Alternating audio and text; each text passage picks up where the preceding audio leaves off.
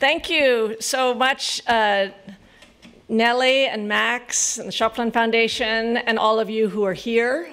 Um, I am a, an Americanist, so it is my first real uh, interaction and sharing with uh, across the Atlantic, and I really look forward to this being the first of many collaborations as we build a anti-monopoly, pluralistic human movement. And I really appreciate David's very human uh, introduction and welcoming to remember that this is about the thriving of uh, the human spirit, freedom, and health.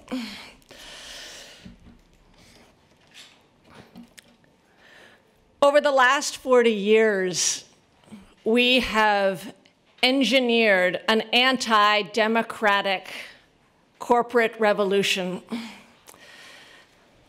that has been largely politically invisible and led to a system that is designed to both create and entrench corruption at the national and transnational level. And my talk is going to focus, as I'm an anti-corruption activist and writer, on anti-monopoly and anti-corruption and how the two are intimately bound together. So over the last 11 years, just looking at the tail end of this revolution, we have allowed over 500,000 mergers globally.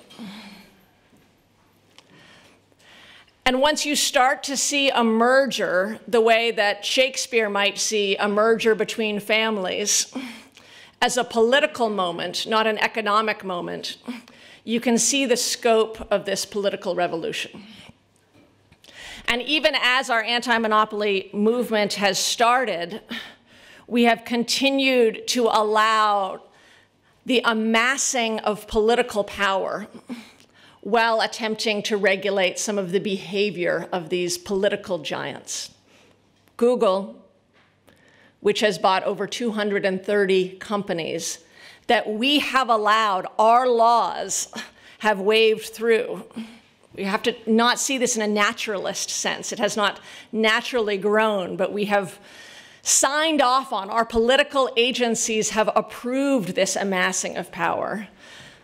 We just recently waved through the Google Fitbit merger, allowing an even more intrusive view into the citizens of the world that they will use to inspect, direct our lives, and direct our politics.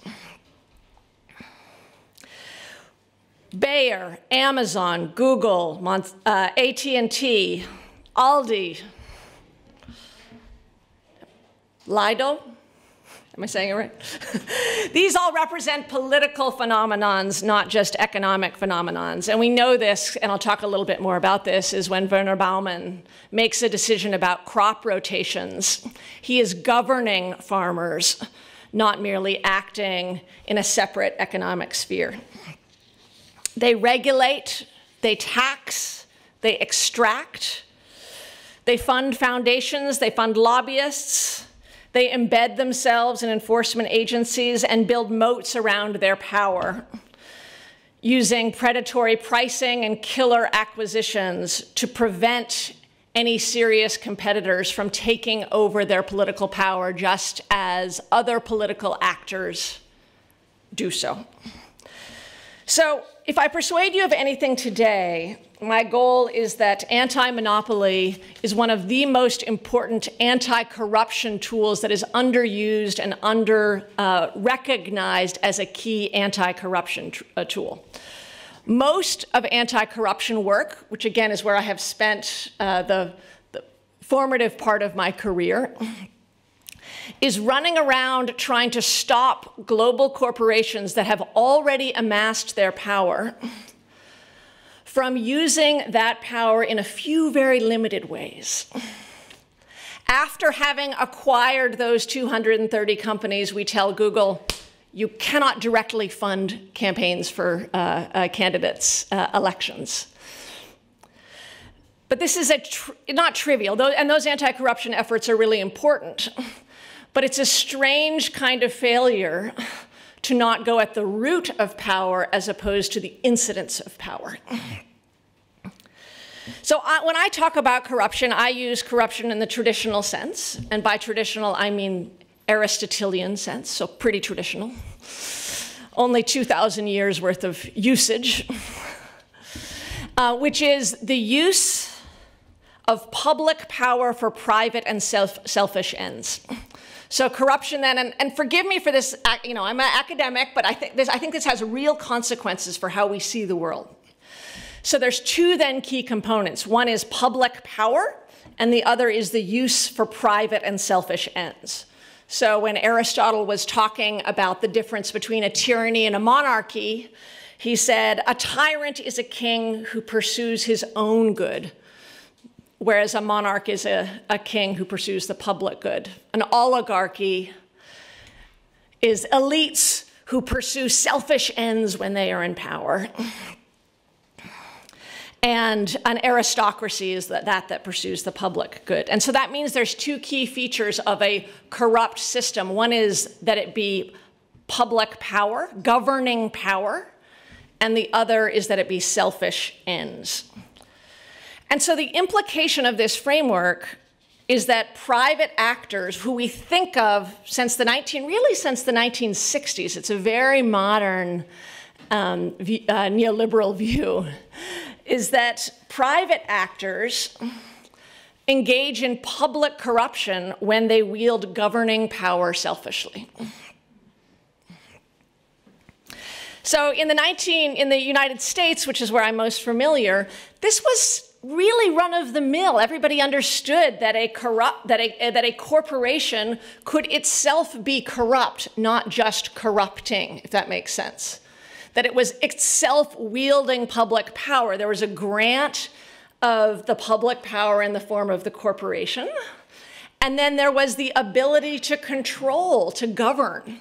You see this in our Supreme Court justices talking about the governing power of corporations and our Supreme Court justices talking about corporations themselves being corrupt. So there's a, just a basic background, non formal understanding of power. That when you see power that can control, set terms, direct, that's governing power, whether you call it the mayor or whether you call it uh, the CEO. And then in the mid century, a weird kind of formalism took over, where corruption became associated with formal elected offices or formal appointed offices as opposed to power. Now, this happens a few years before, but approximately the same time as you see the Chicago school efficiency model of antitrust takeover, where uh, antitrust is seen only through an efficiency and a consumer welfare lens. There's a medical condition called hemispatial neglect. Hemispatial neglect is a neuropsychological condition where, when damage to one hemisphere of the brain is sustained, the person is unable to perceive stimuli on the other side of the body. I steal this shamelessly from the political philosopher Elizabeth Anderson, who says that since the mid 1960s, we've been living in a case state of hemispatial neglect. That antitrust can't see political power, and the anti corruption movement, she was actually using it in a different context, but I'm stealing it shamelessly. and the anti corruption can't see um, economic power. And I've experienced this as an academic where I go to antitrust conferences and say, there's a real political problem. And the economists will pat me very gently on the shoulder and say, that's right. There's a very, very significant problem with corporate power and politics. And it is not our problem, the anti corruption people do that. And then I go to the anti corruption conference and say, when's the antitrust panel? And they say, that seems very important, but we don't know anything about corporate power. We just know about elections and campaign finance and lobbying. So let those other antitrust people deal with this. And so instead, we've allowed, by the neglect, the hemispatial neglect in both fields, we've allowed for this total atrophying of a central anti corruption tool and a central uh, tool for economic thriving. And uh, last time I was here actually was for a TI conference, Transparency International, so I'm going to call them out for an example of this weird formalism. Uh, and invite them, as David did, invite them to the anti monopoly fight. Uh, that TI's definition is the abuse of entrusted, of corruption is the abuse of entrusted power for private gain.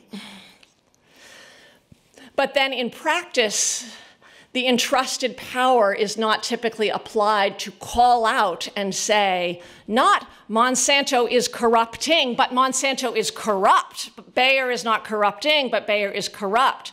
To understand that we have actually built a system designed in Aristotelian terms for corruption, because by definition, the corporations are going to act in a selfish and greedy way. That part of the equation isn't hard, right? We know they are. We built them to. So we build a selfish power and then grant it governing power. We have built a system of um, corruption. So, as I said before, this may sound like a trivial academic error, but this weird formalism, this failure to see the world accurately, has really allowed for this anti democratic revolution that has coincided with the celebration of democratic um, expanse. So the way that I see it is there's two ways to look at uh, uh, monopoly and corruption. One is the indirect corruption, and the other is the direct form of corruption. What I've just been talking about is the direct form of corruption. So when Bayer Monsanto, for instance, regulates um, crop treatment, and I, it's clearly a form of regulation. They talk to scientists, they engage. They engage in a five-year study about how they want to, uh, how they want farmers to spray their crops. They then enforce this form of crop treatment through their market power. When they engage in that, and when documents are later revealed that in their regulatory analysis they knew the disaster that would result, um, to the uh, new edition. There's a recent, there's basically a weekly expose, uh, but there was a recent expose about, uh, about uh, Bayer Monsanto's efforts here. That is clearly a form of governing power because they have the power to directly impact what farmers do. That's governing power. It's regulatory because they're going through a regulatory process. It is undoubtedly selfish. It's all about the bottom line. It's an example not just of bad behavior, but of corrupt behavior. So that's what I mean by direct corruption. And then there is the indirect form of corruption, which is also extremely insidious. The indirect forms are paying candidates for office, lobbying, uh, embedding uh, uh, ways of thinking and facts lobbying the uh, media environment, smearing the reputation of scientists, which again, uh, Bayer and Monsanto are, are known to do, threatening regulators, and directly paying academics. And in the antitrust world, one of the most insidious indirect forms of corruption has been the paying of economists. Um, I was at a conference a couple weeks ago where I asked, where I suggested that we, with a bunch of economists, saying that I, I suggested that when economists write a byline for an op-ed or write a, um, uh, uh, you know, write a research paper, they should not include a disclosure that includes that they consulted for Google, but exactly how much money they made. So not, you know, Jan so-and-so has consulted for Amazon and Google, but Jan has received $50,000 from Google in the last few years, and uh, uh, $18,000 from AT&T, and the economists I was with laughed heartily because $50,000 was seen as such a paltry amount of money. More like $500,000, one of them said. So, this is corruption of academia and of thought on a grand scale that is a central part of the corruption that we are fighting in the indirect uh, forms of corruption. So, what are the effects of this? One, radical inequality. In the United States, which I know the best, uh, we have seen the richest 1% take in over half of the increase in income since the 1980s um, uh, intellectual revolution. We have seen radical um, increases in racial inequality, the destruction of black owned businesses. We have seen in the uh, communications sphere both the destruction of local newspapers, essential for a democracy, and the dependency of journalists on Facebook, Google, and these central arteries of communication. We have seen a radical increase again since the 1970s in lobbying. It used to be tacky to lobby in the 1950s, a little bit déclassé. Recently, the big tech companies have spent, some estimate, I want to get my trillions right, my, a billion, a trillion. I'll get that number later on tech, uh, on lobbying on tech. And last year, $70 million the big tech companies spent on trying to stop, just on lobbying, not on buying academics, not on all the other, just on lobbying alone, on trying to stop the uh, anti monopoly wave that is coming at them. And we have seen the growth of increased fear. So when Lina Khan, who is now the chair of the FTC, was working with Barry Lynn, who I'm delighted to be here with, who's one of the real global leaders in the anti-monopoly movement, eight years ago, one of her first stories was about chicken farmers. And it's really important to understand that it was about chicken farmers who were not only robbed by the distributors, Tyson, who is taking as much money as it could in its governing role over those chicken farmers, taxing and extracting, sitting atop the industry. But it was also terrifying them. Because one of the real effects of this corrupting centralized power is fear. That the dependent journalist, the dependent chicken farmer, the dependent small business owner, the dependent worker who only has one of a few companies to work for, all of them are rationally afraid that if they speak up, if they use their theoretical democratic power, they will be hurt.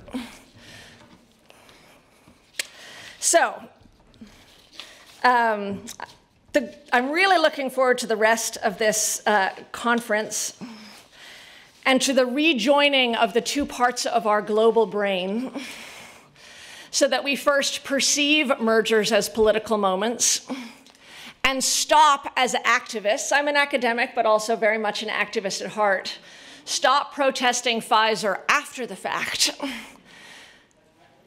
and start insisting that Pfizer should never be allowed to amass a form of illegitimate governing power in the first place.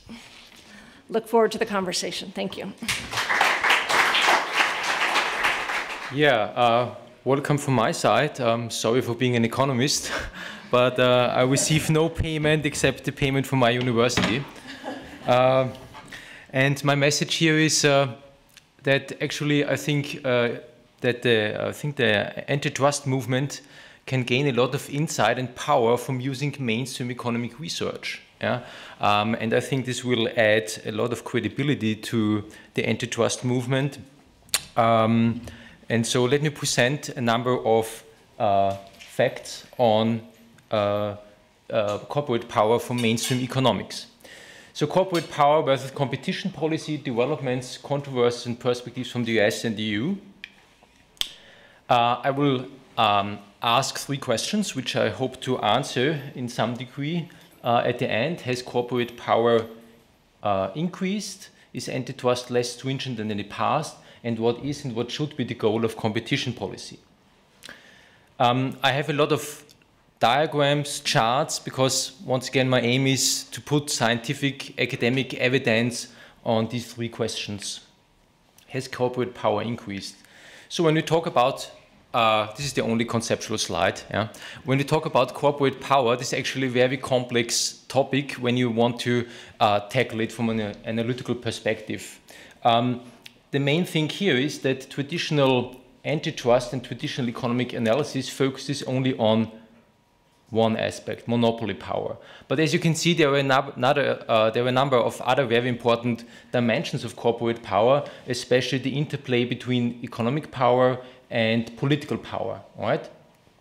Um, here, uh, Luigi Zingales referred to this interplay between economic and political power as the Medici vicious circle. Yeah? The two um, amplify each other. Um, I distinguish in my uh, research between market power, which consists of monopoly and monopsony power. So monopoly power is the buyer power, and monopsony, oh sorry, monopoly power is the seller power, monopsony power is the buyer power, and scale power. Scale power is what we typically think about when we talk about corporate power, namely the uh, power that comes uh, because of the size of a corporation, right? Market power, in its narrow definition, has nothing to do with the size of a company. This may be a surprise to you, but this is, one of the weaknesses when we only focus on monopoly power instead of considering the broader spectrum of the different types of corporate power. Some stylized facts on global corporate power. These are data from the recent publication, the most recent publication on this topic from the International Monetary Fund. Uh, first of all, we see here a global trend in markups from the 1980s through 2016, and we see an increase by about 30% in the global uh, markup uh, of corporations. What is the markup? The markup is the difference between price and costs, right? And um, we measure monopoly power by the size of the markup. The higher the markup, the higher the uh, market power of a company. Interestingly, this increase in the markup was mainly concentrated in the top decile of the uh, markup distribution, meaning those companies that already had the highest markups in the past were able to raise them by the largest amount, namely they almost doubled the markups, whereas the companies at the bottom of the markup distribution, so below the median, they raised the markups only by uh, several percentage points. In addition, we see here that the markup uh, persistence has increased, meaning the companies that had high markups in the past are increasingly able to retain these high markups well into the future, right? So there is less churn in the markets, meaning mm, uh, big corporations are more entrenched in their power positions. Um, on the bottom left, we see the concentration. Um, so the concentration refers to how much market share uh, pertains to uh, a number of companies, for instance, four or eight companies. And we see that market concentration has increased by about 30% since the 1980s, especially in the advanced economies. AE stands for advanced economies, EM for emerging economies.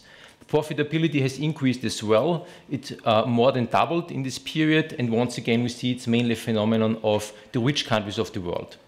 Business dynamics, which is another important indicator to measure market power or the competitiveness of a market, um, is here uh, measured by the entry rate. So how many companies enter, so how many new companies enter a market as a percentage of all companies in the market, and we see a downward trend. So there are less new competitors for the incumbent companies. Uh, so all the indicators uh, provide a very clear picture of an increase of global corporate power once again, mainstream research by the International Monetary Fund. When you consider markup developments in more detail, we see here the US 1955 through 2019, and we see here, uh, first of all, uh, um, that market power was much uh, uh lower in the past, and we see then a very steep increase since the 1980s. Yeah? Uh, so this corresponds to Ronald Reagan, neoliberalism, and Chicago School of Antitrust. For Europe, I have here the newest study from the European Central Bank, Kouvavas et al. uh, we see that uh, also for Europe, market power is on the rise. We have here the Eurozone, and for the Eurozone as a total, we see an increase of plus 15% uh, in the period 1995 through 2019 for Germany plus 26%.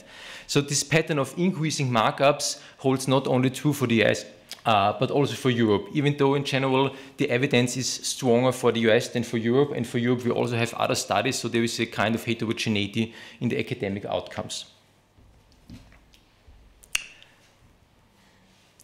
Concentration developments, uh, once again, Europe versus US. We see here on the left side concentration ratio 4 and concentration ratio 8. This refers to the market shares of the 4 and 8 largest companies in the market. Uh, we see that both are on the rise in the EU and in the US, in North America. Uh, however, once again, the increase is a little bit stronger for North America than for Europe. Yeah? Um, pointing out the heterogeneity in the academic research. On the right side, you see a finding from a study from the European Central Bank, which was a very important study at that time, which pointed out that, well, you see, there is no increase in concentration. So still there is um, this idea that Europe is different, the Europe is different hypothesis. This is still, uh, there is still some discussion about this, whether Europe really follows the same trend as the US. I would say uh, the uh, newer evidence says yes, but still there is some debate about the empirical developments in Europe. The political power of firms has also increased, although this is much harder to measure. This is the first uh, um, peer-reviewed study which shows the increase uh, of direct firm power, uh, um, uh, direct political power firms. And here we see the lobbying contacts with the European Commission, and we see that the number of firms, the share of firms that had con uh, contacts with the European Commission out of a total has increased uh, from 29 to 44 percent. And these are numbers that refer to before the financial crisis and after the financial crisis. Yeah? Whereas on the other hand, the influence of business associations is down and the influence of NGOs uh, uh, declined as well. Yeah? So we also can observe an increase in the political power of firms, namely firms as such and not just business associations, which is even worse, I think. Why has corporate power increased? Um, there were two explanations, and these two explanations are important because the political implications are different depending on which explanation you accept. First of all, we have the very important superstar firm hypothesis, which basically says, you know, this growing firm sizes, this growing markups, growing concentration, this is all due technologies, new technologies, so networks effects, economies of scale, etc., etc., and we have merit-based market power. So the outcome is beneficial for society, is beneficial for consumers, right? Because it's just the case that the more efficient firms grabbed larger market shares. And that's fine. This is what we want in economics, efficiency. However, the uh, uh, uh, superstar firm hypothesis authors also say, well, now we need to be cautious because now the firms are dominant and now maybe they exploit the market power, right? But it says they have reached the market power due to merit. On the other hand, we have the political economic hypothesis, which basically says, well, look, lax antitrust enforcement is behind the increase in market power and concentration. And here, Robert Bork is perhaps the most uh, well-known author that may be behind this lax antitrust enforcement. Um, so he's one of the uh, founders of the Chicago School, and here is a quote from uh, Senator Metzenbaum from 1987. There was a hearing uh, because Mr. Bork was um, uh, a nominee for the Supreme Court by Ronald Reagan, and Senator Metzenbaum asked or stated the following. Um, you would accept total concentration of economic power in just a couple of companies, maybe three, depending upon which day you were writing. Yeah? Uh, so Robert Bork argued that antitrust enforcement um, should be uh, changed, less strict, and so there are also strong arguments for the political economic hypothesis um, according to which lax antitrust enforcement is responsible for growing market power, for growing corporate power. Is antitrust less stringent than in the past? That's the second question I want to uh, address. Um, there are also a number of um, quantitative research studies on this. First of all, we see here an overview from a paper uh, on antitrust cases Institute by the uh, Department of Justice. Uh, and as you see, you know, right in uh, 1890, the Sherman Act, and then uh, you see here an increase in the cases, so a more active antitrust um, policy. But then in the 1970s and the 1980s, we see a very strong decline in the number of antitrust cases picked up by the DOJ.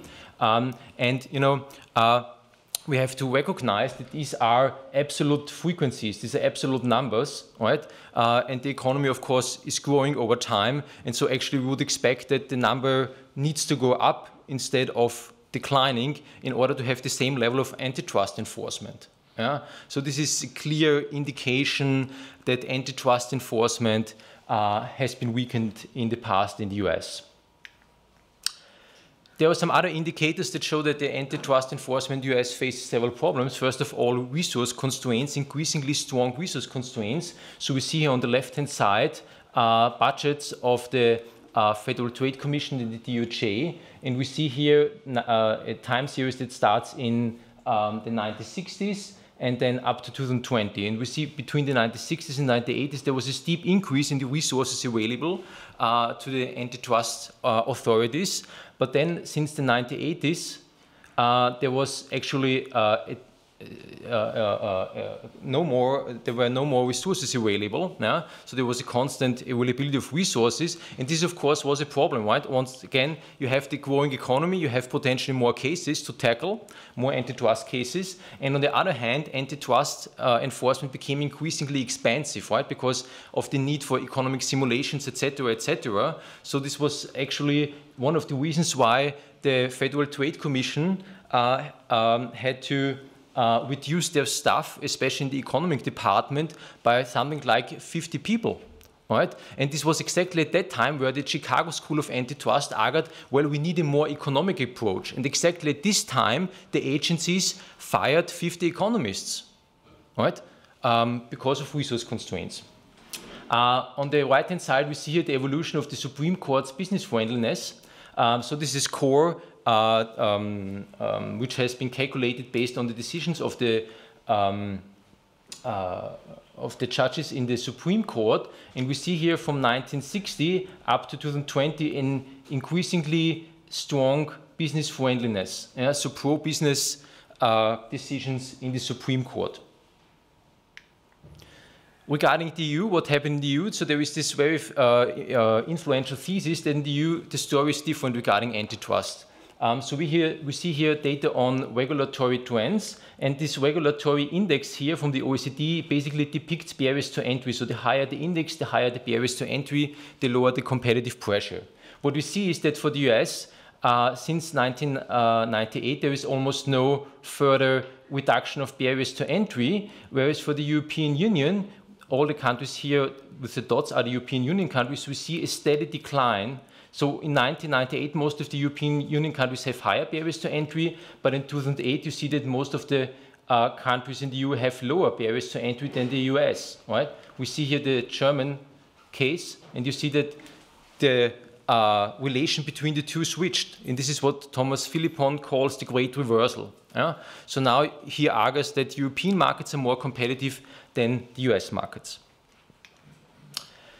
Um, here is a, a, diagram which shows the um, merger cases picked up by uh, the DG Comp as a percentage of total mergers.